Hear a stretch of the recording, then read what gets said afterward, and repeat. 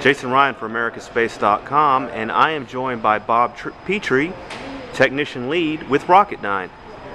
Bob, I, I'm trying to pick my, my jaw off the ground here at what I'm seeing. Why don't you walk us through and let us know what we're looking at? Well, what you're looking at is the post shuttle engines. We have uh, 14 of them here in this, in this facility. Um, they're all been processed and they're ready to uh, be uh, put into storage to support the SLS program.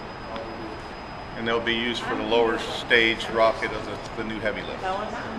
Now, what about these all black engines back These here? These are uh, what they call an RSME. They're simulators. They'll be installed in the orbiters for uh, the museum displays. Okay. And they're actually flight, old flight nozzles. And then um, we have some um, simulation of the engine on the top. So they'll, So the part below, the, the black part there with the, the, the lettering, those are actually parts that have flown before. Yes. They've, they've done their job, and you basically right, turn them into right. museum pieces. yeah. These will be the engine simulators for, for the orbiters that will be on display. And now, will these stay in with that particular orbiter, say Discovery, the whole They'll time? stay at it for the rest of its life.